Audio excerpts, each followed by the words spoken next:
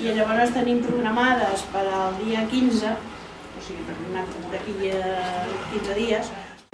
Del llibre Els murs de l'odi, el poema d'Astor, eh, s'inicien amb una cita de Jaume Pérez Montaner que diu i és que nasquérem al vell mig de la vergonya. El temps que el vent ens du de dins del mar és fred i humit i ens glaça el moll dels ossos. Ens porta la remor d'una injustícia que a cops de temps ha esdevingut rutina. La sal que d'aquest mar la vella ens crema resseca les arrels dels nostres vespres, amb un regust de sang per l'infinit dolor dels que han deixat tota esperança just al moment de néixer a l'altra riba d'un mar que algú ens va dir que ens agermana. L'olor de sal i sang, el temps que passa, el sofriment distant, els plors de vídues i d'orfes candidats al sacrifici, sols el discret destor d'una notícia.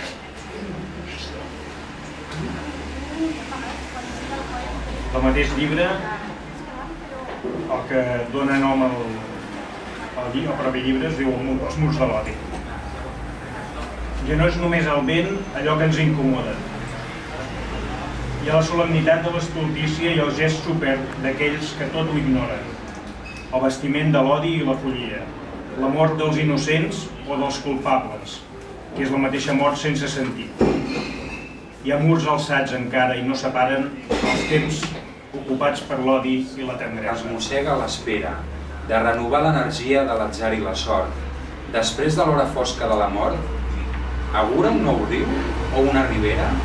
Tal, vol, tal volta una finestra bat pel vent, tal volta una mirada perduda en el camí, tal volta et trobes desert i absent i et salva la vida un truc del destí. Mot. Mot íntim o paradís, que el pla ja engalana, no hi ha estones vanes, ni cap vespre, escrit en gris. La paraula, la presència, de menuda subtilesa, subratlla la grandesa de l'amor en fluorescència. Mestre d'amor, què faria la fadrineta sense imatges? Què faria l'amor efímera, sense penyora? Què faria la bruna silvestre, si no la despullava? Què faria mare, sense cada demà? Què seria la lluita, sense estrella ni panó quatribarrat? Qui es llevava sense bons de matins? Qui tindria amigues sense vaixells blancs? Qui seria futurista sense tu com el naixement, viure no és res més que protecció, engreix i un cant a l'agotisme que s'està llaurant. Després, els nadons són rebecs amb la manca de comoditats. El plor indecent els brolla com raja el sentiment mentre no coneguin les expreses que els esmucin. Deixem esmolats i morim esdentegats, amb el desig rom. Les tovalles quadriculades, ratlles roges sobre fons blanc, ratades per l'ús i la cendra. Porrons, vasos de vi amb gasosa, fusta corcada i un rebust en el menjar i en l'aire a terra deixatada, restes antigues d'un món poc transitat, només pels parroquians d'habitud. Parada i fonda de la memòria on hi trobo, entaulat, l'avi, tovalló lligat al coll, sucant pa al plat de vedell amb bolets. Els dits bruts han deixat petja sobre el vidre entelat del got i així ha de romandre la imatge.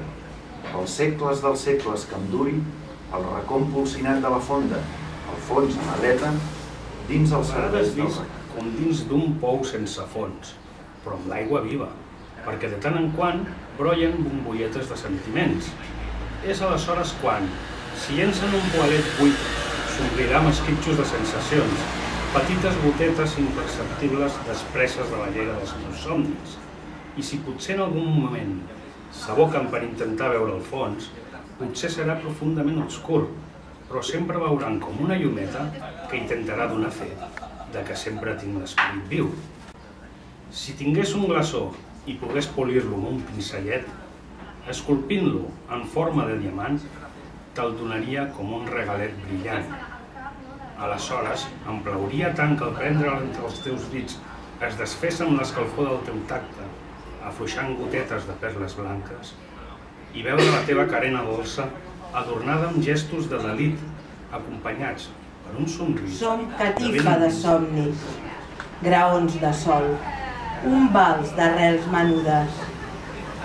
Dia a dia inventem la no rutina. Amb els peus ferms ens vestim d'aire per ballar amb estels. Som dones d'eure. Podem ser alades, arrel, estiu, bressol, deix i mans.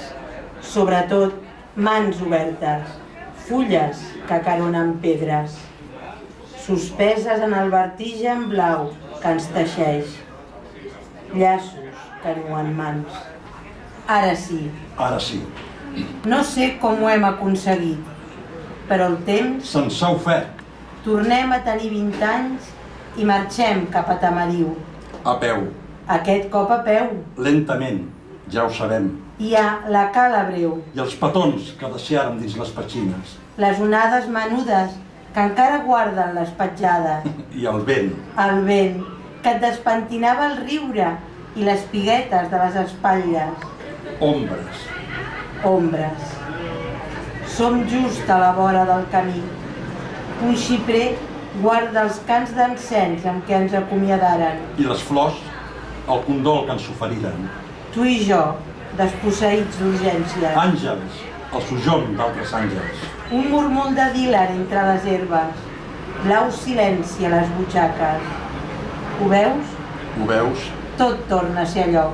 He assaborit el teu riure, el raïm blanc dels teus pits, i he pintat eures blaves en els teus sotracs. He conegut els revolts del plaer, mil pinzellades fúcsies fonent-se, pessics de petúnies, i la peresa, adormida, en un cosí florit. Descalç, camino els colors del teu cos.